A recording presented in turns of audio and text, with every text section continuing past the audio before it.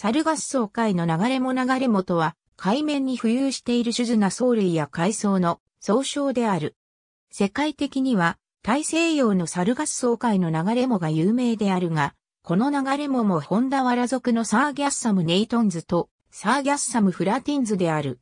両種とも浮遊した状態で繁殖する生活史を繰り返している。また、ベルギーでは、ホンダワラ属の Sargassum muticum、ヒバマタ目の Ascophyllum nodosum と、ヒバマタカのフーカスビシキアロシスの流れもが確認されている。アイスランドでは同じくヒバマタメの A ノードッサムと、ヒバマタ科の F vesiculosus が、カリフォルニア州沿岸では、ジャイアントケルプが流れ藻となっている。日本では、初夏の沿岸水域で普通に見られ、日本周辺では、ホンダワラ属及びそれに、禁煙の属の植物が流れ藻の大部分を占めている。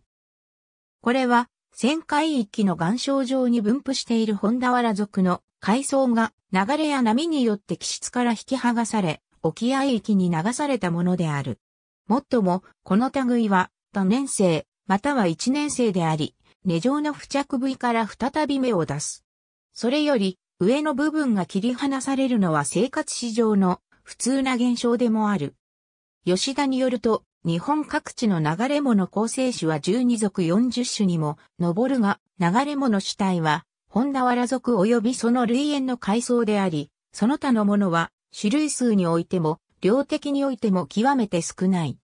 海面に固まって漂う流れ藻には、太陽性の魚類の稚魚や、横エビや、我からなどの短脚類といった小型の節足動物などが集まる。また、流れ藻はブリやアジなどの重要水産資源の致死魚が随伴したり、サンマなどの脱目魚類が産卵気質にしたりと水産上、重要な役割を果たしている。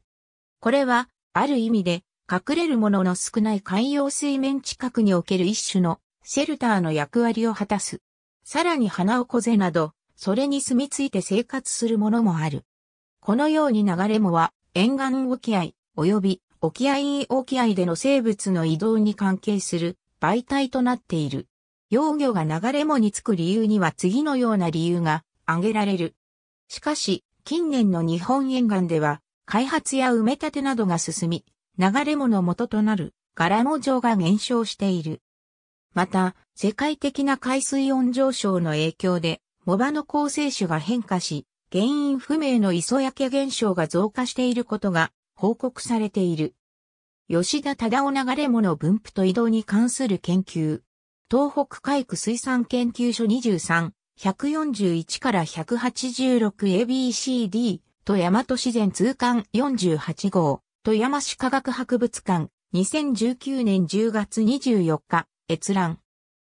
寺脇俊信、荒井正吾、四季田浅見藻場回復20世紀初頭の藻学の現状日本総類学会50周年記念出版、89から91国立環境研究所地球温暖化の市民生活への影響調査成果報告書151ピアニッシモ寺脇俊信荒井正吾四季田浅見藻場回復20世紀初頭の藻学の現状日本総類学会50周年記念出版89から91ありがとうございます。